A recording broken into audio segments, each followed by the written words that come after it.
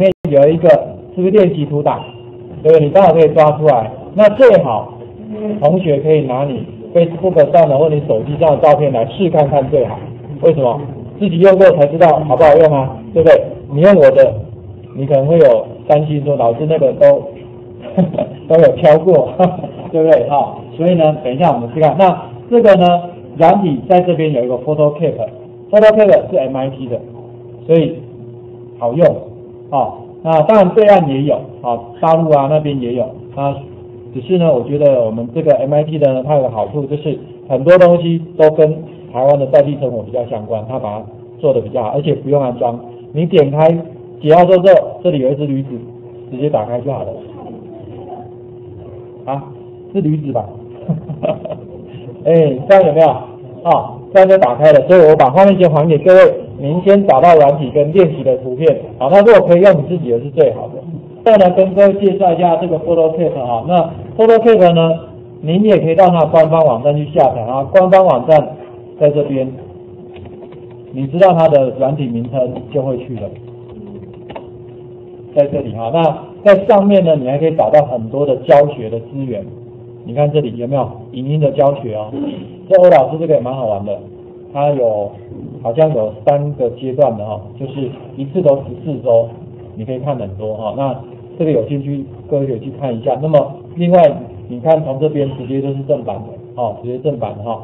好，我们先来看看，在这个里面，我们主要等一下呢会跟各位稍微讲一下，就是像这个洗照片，大家现在都很很少洗嘛，主要都是大头照，对不对？生活照现在很少洗出来，都直接放 FB 而已。好，那我们还要看一下基本的影像处理，还要做一个。加外框跟套模板的动作哈，那我们来看看哦。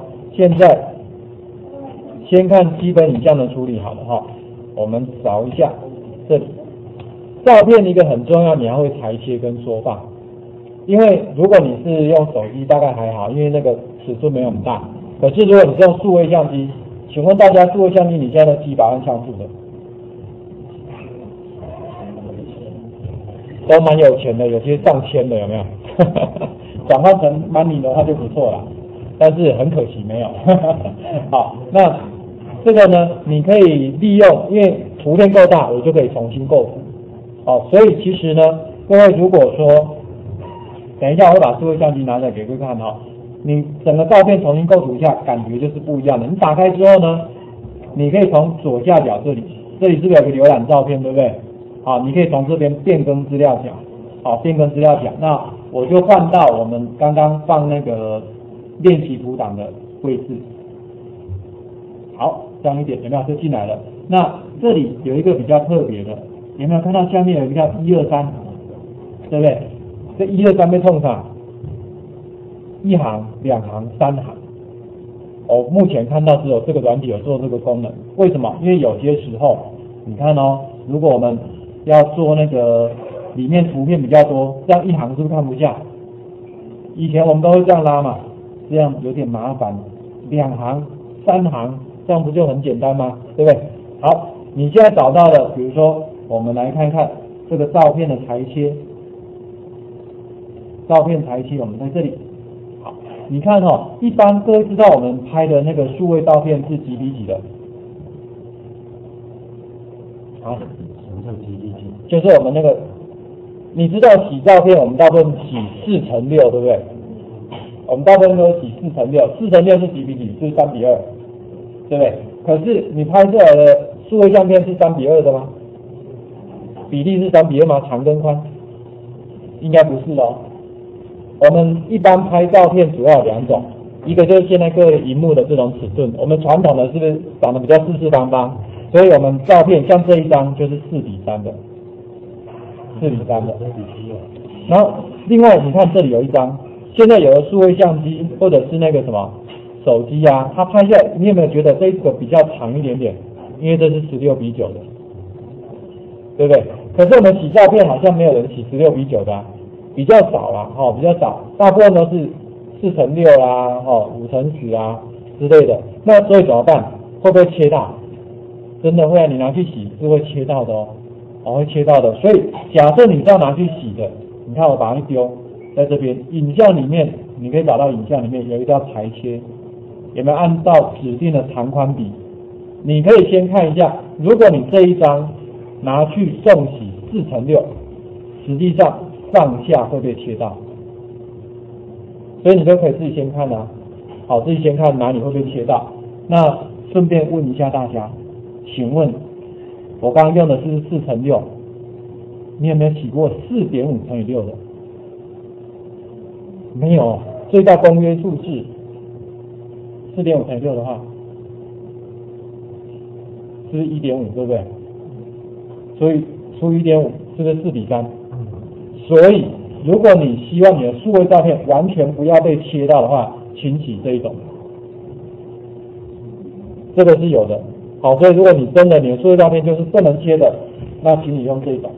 那价格应该是原本上是一样，但是如果你买那个相本。因为它要的纸比较多，所以会比较贵一点，哦，相对比较贵哦，所以这个大家可以留意一下。你从这样就可以知道说，哎，我洗的照片是不是真的有被切到？那这是你又去送洗。那假设你放到 FB 或电脑上或者教材里面，什么比例都好没关系，对不对？所以你有另外一种方法。你看哈，假设你要像我们一般，如果你是要在电脑里面的，我们就是直接用。你看预设这里是采选取工具，你就把你要的范围选下。比如说，你看刚刚这一张有没有？那裁切之后跟这样，这一张你就点到它丢进来哈。那你把你要的范围把它选起来，好选起来。那万一不满意怎么办？旁边点一下就可以，好就可以取消。你可以再重新框一下。如果说哎差一点点，这个范围要，但是差一点你就移到里面，要移动一下。最后在哪里？在上面这边，你看，往上看有没有个裁切，对不对？把它裁切一下，这样子就留下来了，啊，就留下你要的部分了。这样清楚了吗？好，所以你可以像这样。那我顺便讲一下，就是说，比如说像这个，我们平常在拍照，我不知道是算好习惯还是坏习惯哈，因为电视上都教你嘛，就对准正中间就拍下去嘛。但是这个 这种构图不见得是最好的。好，不见得是最好的，所以你看哦，是在以这一张来讲，我们可以稍微重新构图一下，就在这边一样，你可以用什么指定长宽比。好，我在这里呢，假设不管你是四乘六还是几比几都没有关系，你可以重新构图。你们常常会在数位相机的后面，你会发现它会帮你画一个九宫格，有没有？智慧相机，哎，我不知道智慧型手机有没有，但智慧那个一般的相机都会有一个九宫格的功能，给你对。那一般来讲，我们大部分会比较建议各位，就是你在对的时候呢，最好就是本来我们是十字摆中间嘛，那你最好可以对在这个四个角落上，把主角啊对在这四个角落上，感觉会是不一样的。你看我现在稍微对到了，按 OK，这样子使用前是比较这样，使用后会变这样，这样你大概了解意思了吗？所以你回来是可以重新构图，万一你拍的时候没有构构图好，你可以回来重新再做，反正尺寸够大了，就没关系。好，这个是呃在这边跟各位稍微调介绍一下的，所以你可以去看我们刚刚讲的几个哈，你先变一下你的资料夹，好，然后找到你要照片把它丢上来。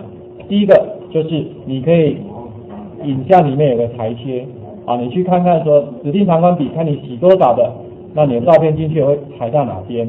第二个就是你直接框选你要的范围，框选你要范围，直接把它裁切也可以。